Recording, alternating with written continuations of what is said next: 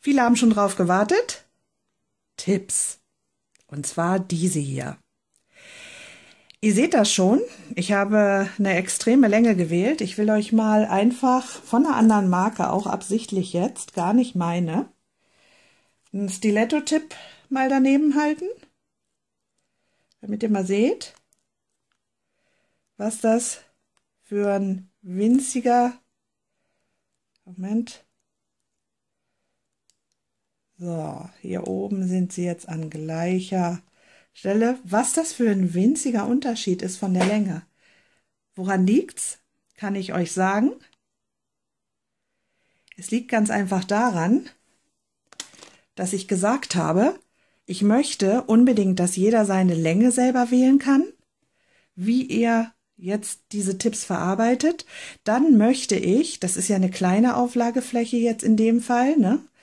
Dann möchte ich, das ist äh, die Größe 1 müsste das sein, die, ja genau, die Größe 1, die größte Größe, damit man das aber jetzt gut demonstrieren kann, ne? Sieht man auch hier, Größe 1, ne, ist eingestanzt auch immer bei meinen Tipps, damit man weiß, was man, wenn nachher ähm, nachbestellen muss, beziehungsweise ich biete ja vorerst immer große 500er Packs an, da braucht man so schnell nichts nachbestellen. So, also auf jeden Fall ist es so, dass bei diesen Tipps ist so, die sind Ihr seht das auch, schön gebogen. Warum ist das so? Das kann ich euch sagen, weil wenn ihr sie kurz gestaltet, sind sie gerade. Wenn ihr sie länger gestaltet, haben sie halt nachher die richtig schöne Biegung. Ihr könnt daraus Mandeln feilen, ihr könnt daraus ja, Rounds feilen, ihr könnt Squares sowieso belassen, ne, wie immer ihr möchtet. Das kann man mit den allen, mit, also mit diesen Tipps alles super machen. Sie sind auch schön flexibel. Ich will das mal ganz kurz euch demonstrieren. Zack, guckt. Ne? Sie sind schön flexibel, ohne dass sie brechen. Also da ist nichts, gar nichts gebrochen. Das könnt ihr jetzt hier sehr schön sehen. Also es ist nichts gebrochen.